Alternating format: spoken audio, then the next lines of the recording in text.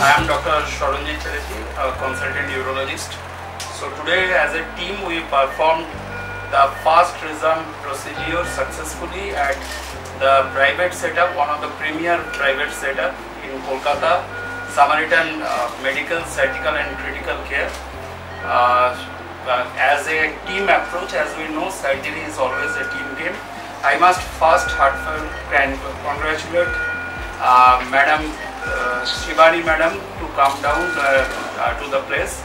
Mr. Apurvo Kalita who is always in touch for last one month and Udoyda, Shunnashida, Rajeshda and Monosda for their and Durgadi for their fantastic work efforts for their OT performances. I will ask uh, my senior uh, urologist, my mentor to uh, talk a few words regarding the new procedure and the new performance of the machine. Well, uh, Rezum is a new minimally invasive surgical treatment for prostate. The patients who have an enlarged prostate, uh, the benefits are very high in comparison to the usual uh, conventional procedures for enlarged prostate which are this procedure can be done under a local anesthetic uh, and it is suitably uh, done in patients who are especially anesthetically challenged and in younger patients who have enlarged prostate and would like uh, minimal invasive surgical therapy would also preserve their sexual function with this procedure. Apart from that, there are some preconditions which must be met before this procedure is suggested, which are technical.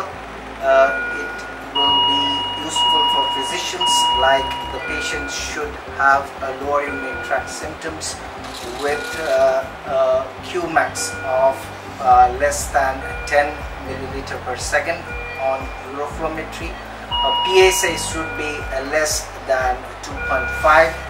Uh, the patient should be aged more than 50 and uh, the prostate volume which is approved for this procedure is around 30 to 80 grams. So I think there will be a lot of patients who will be benefiting from this procedure uh, and I hope uh, that uh, this institute will take this forward.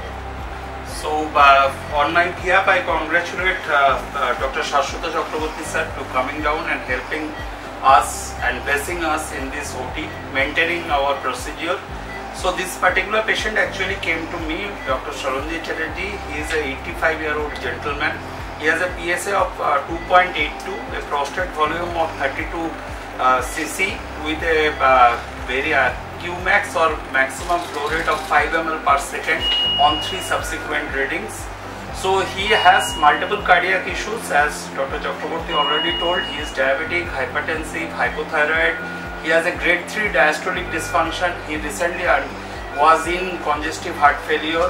Uh, so he was treated and investigated by one of the most uh, premier cardiac institute in Kolkata uh, by one of the senior most cardiology team.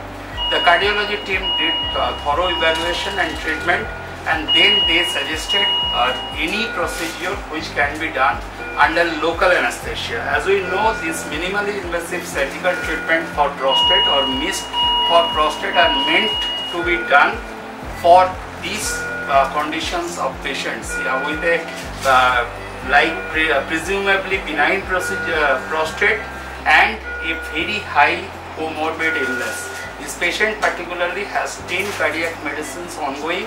This patient, uh, we stopped high dose antiplatelets just 48 hours before and we blessed this with low molecular weight heparin. So uh, this procedure is extremely friendly as Dr. Shashwat Chakraborty has uh, already explained very precisely its benefits.